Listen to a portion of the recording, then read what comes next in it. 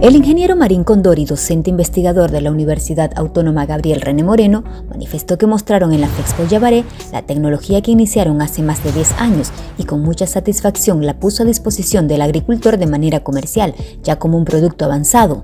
Bueno, acá está la quinoa tropicalizada, material que ha sido desarrollado en la Facultad de Integral del Noreste San Julián y hoy con mucha satisfacción ponemos a disposición de los agricultores de manera comercial.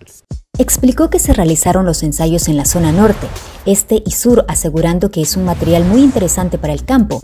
Zona este, zona norte, eh, esto ya hemos hecho los ensayos de muchos años. No tiene limitaciones para la zona norte, por ejemplo, de repente Colonia Piraí, un poco más húmedo, pero para este lado al sur, a la zona este, no tiene limitaciones. Es un material muy, muy interesante para el campo.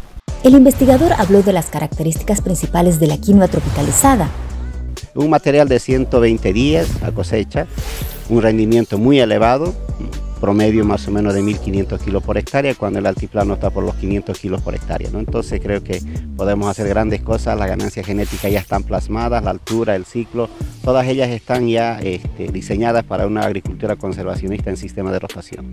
Marín Condori enfatizó al decir que la quinoa tropicalizada es de exportación. Esto es de exportación, esto es de exportación, el destino es los países asiáticos, es Estados Unidos, Canadá, esos son nuestros mercados potenciales.